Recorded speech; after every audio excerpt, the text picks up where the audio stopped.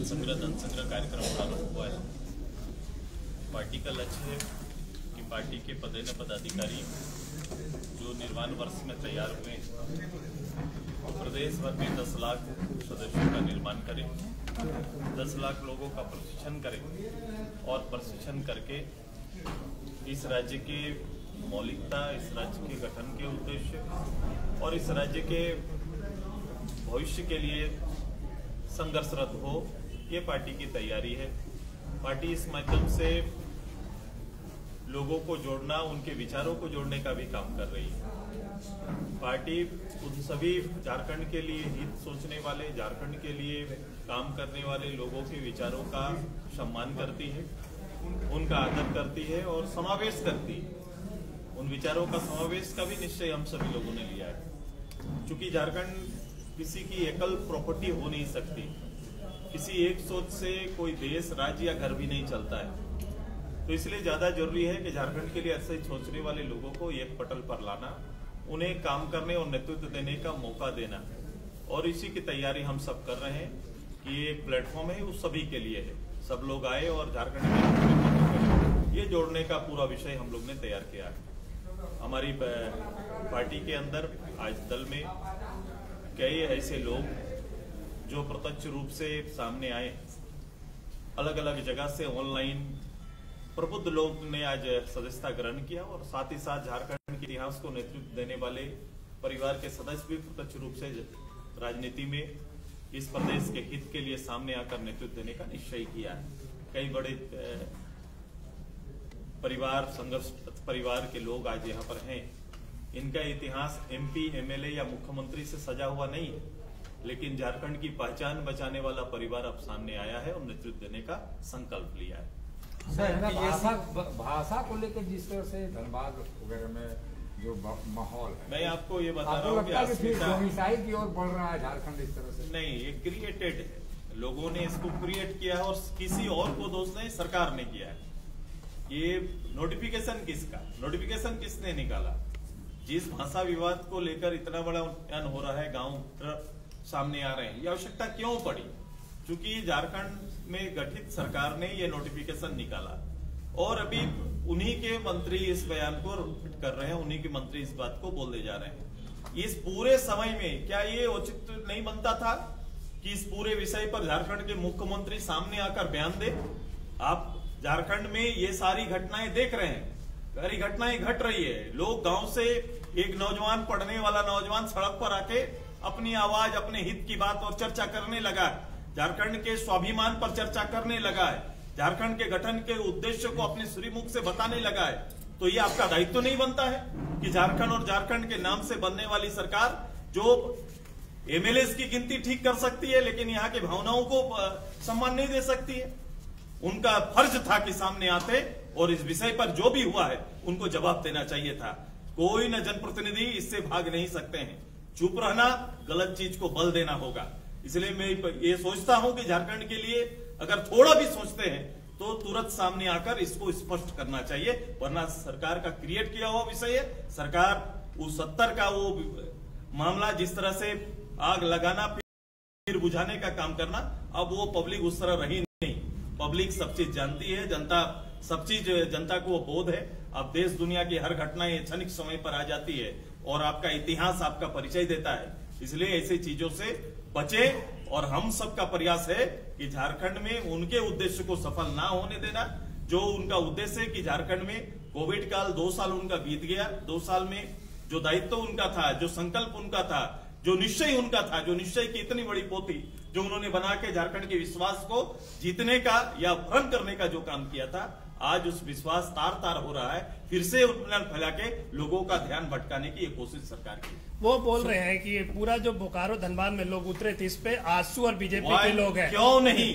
क्यों नहीं? पचास साल झारखंड मुक्ति मोर्चा का हुआ। गुरुजी दुमका जाते हैं। झारखंड मुक्ति मोर्चा का पचास साल धनबाद में मनाया जाता है। उस मंच से रूलिंग पार्टी के नेताओं का या ना उनका सामने आकर बोलने में क्या अर्ज़ है? हम उनसे सुनना चाहते हैं। अगर कोई भी विषय है तो किसी अन्य से ना सुनो कि मुख्यमंत्री को सामने आकर इस विषय को रखने में क्या दिक्कत क्या परेशानी सर टीएससी गठन को लेकर राजभवन की ओर से सवाल उठाए गए हैं साथ में कहा गया है कि राजभवन को अधिकार दिया गया दो सदस्यों को नामित करने का ये पहले ही जैसे ही टीएससी को लेकर इन्होंने टीएससी को लेकर सरकार ने नए रूप से टीएससी को गवर्नमेंट का डिपार्ट बनाने का कोशिश किया टीएससी एक ऐसी संस्था है जहाँ पर जिस मंच पे आकर, खासकर उसके नेतृत्वकर्ता की एक टीम बने और राज्य को चेक बैलेंस का काम कर सके, राज्य के निर्णयों का मूल्यांकन कर सके और उनको दिशा दे सके। ये उनका काम होता था। हमेशा टीएससी ये काम करती थी। टीएससी के लिए फंड रहते थे टीएससी के खर्च के क्षेत्र होते थे। उन सभी से पे इन्होंने उसको एक अपने श्रृंगार में अपने जनप्रतिनिधियों के श्रृंगार से सजाया और उसकी मूल भावनाओं को ठेस पहुँचाने का काम किया। जब टीएससी के मूल उद्देश्य की खोजबीन प्रारंभ हुई जब महामहिम खासकर राज्यपाल जी के ऑफ़िस से इसके गठन के औचित्य पर राष्ट्रपति भवन भेजा जाता है वहाँ का डायरेक्शन आता है और इस डायरेक्शन को आज आपके सामने रखा गया सर, ये- संख्या में टेक्नोक्रेट्स आज शामिल हुए पार्टी में।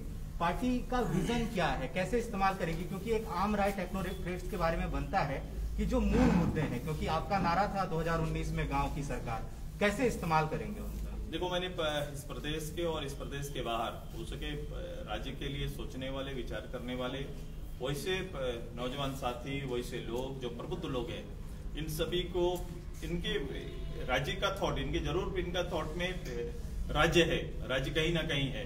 लेकिन इनको वो प्लेटफॉर्म नहीं मिल पाता था। इनकी सोच में वो चीज़ समाहित नहीं हो पाती थी। ये करने का, कुछ राज्य के लिए करने और योगदान देने का जगह नहीं था। हमने इस पूरे प्लेटफॉर्म को ओपन किया है। उनके लिए जगह सुनिश्चित की है और राज्य के सजा राज्य को सजाने में वो अपना योगदान अपने हुनर के अनुसार अपनी काबिलियत के अनुसार कर सकते हैं। ये उनके लिए जगह हम लोग ने छोड़ा सुदेश जी एक सवाल झारखंड में बड़ा घूम रहा है कि झारखंड में झारखंडी कौन है? आप लोगों ने उन्नीस सौ पचासी आपकी सरकार जब थी पिछली सरकार में ये 1932 की बात करके आए थे लेकिन कहीं जमीनी स्तर पर दिख नहीं रहा। लोग कंफ्यूज है जो यहाँ के लोग हैं। देखो जो जो जिस समय में नेतृत्व करते आए हैं, सब लोग अपने अपने तरीके से चीज़ों को सजाने की कोशिश करते हैं। कोई समग्र झारखंड को सजाने पर ज़ोर नहीं दिया। कोई बोले, संकीर्ण मानसिकता अपने वोटर तक ही जाती है और उनको लुभावने के लिए इस तरह की हरकत करते हैं जो बाद में उसको पछताना पड़ता है। हमारा बड़ा स्पष्ट एक दल के नाते, एक राजनेता के नाते, जो क्षेत्र और जो दायित्व जो संख्या बल है, क्योंकि इसमें संख्या बल बहुत मायने रखता है, उस आधार पर कम से कम नीति स्पष्ट रखनी। हम लोगों ने जब पहले भी और बाद में भी 2015 में जब ये नीति बनाने की बात कर रहे थे, तब भी हमारा और इसके बाद इधर सर्वदलीय बैठक जब इन्होंने बुलाई वर्तमान सरकार ने, तब भी हमने बड़ा लिखित रूप से दस्तावेज़ हमारा रेडी है कि हम कैसे स्थानीयता को डिफरकेट करते हैं, कैसे नीति हम चाहते हैं इस प्रदेश के अंदर, स्थानीयता नियोजन, ये बड़ा स्पष्ट है। किसी दल में, इस राज्य में, किसी दल ने अभी तक इसको स्पष्ट नहीं किया है। नेताओं का बयान आता है और वो समय के अनुसार आता है। इस तरह के बयान से न उसके दल के विचार स्पष्ट हो पाते हैं, न वो इस राज्य को दिशा दे पाते हैं और स्थायित्व इस राज्य के लिए कोई निश्चय कर पाते हैं। हमने बड़ा स्पष्ट कहा है कि अभी हमारे लोग 10 से 15 तारीख तक इस राज्य के सारे जनप्रतिनिधि के पास जाएँगे। जनप्रतिनिधि मात्र केवल विधायक, एमपी नहीं, बल्कि जनप्रतिनिधि इस प्रदेश के नेता भी। उनके पास जाना और उनसे इस प्रदेश के ज्वलंत विषय पर उनके विचार लेना, ये पार्टी ने एक कार्यक्रम तय किया है। मेरा आग्रह भी होगा सर्वदलीय बैठक में आकर अपने विचार संक्षिप्त रूप से रखने से अच्छा है कि दल अपना विचार स्पष्ट करे। सभी दल अपना विचार स्पष्ट करे पब्लिक डोमेन में विचार को रखने का काम करे ताकि पब्लिक में कंफ्यूजन ना हो। सर झारखंड के शिक्षा मंत्री इन दिनों काफ़ी चर्चे में है। पुतला दहन तक किया गया है।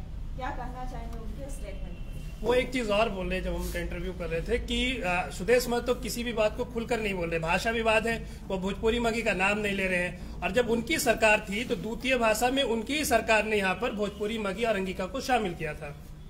शायद शब्द का कोष मेरे पास कम होगा, उनकी नज़र में, उनसे।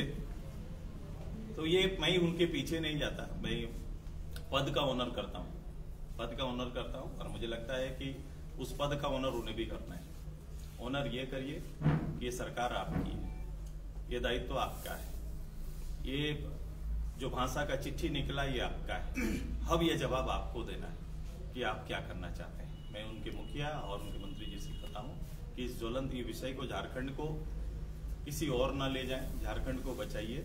और आपके पत्र ने जो चीज़ें कहा कि झारखंड के जो जमीर को हिलाया है उसे शांत करने की पहल कर। एक सवाल लास्ट में आपसे ये जाना है कि मुख्यमंत्री जब बने हेमंत सोरेन तो उन्होंने अपने लिए बीएमडब्ल्यू खरीदा था।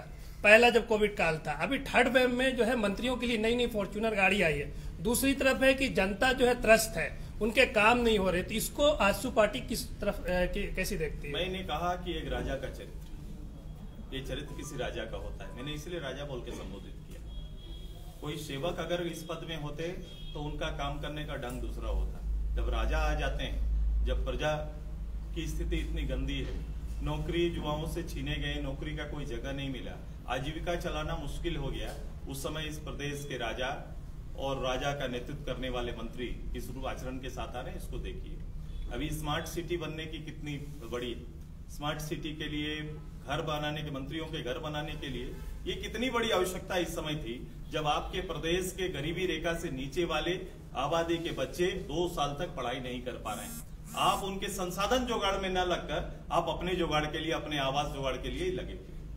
उनके लिए गाड़ियाँ खरीदी जा रही है। ये कोई राजनेता का बैठा हुआ एक गरीब को नेतृत्व देने वाला किसी राजनेता का आचरण नहीं हो सकता है। ठीक है थैंक यू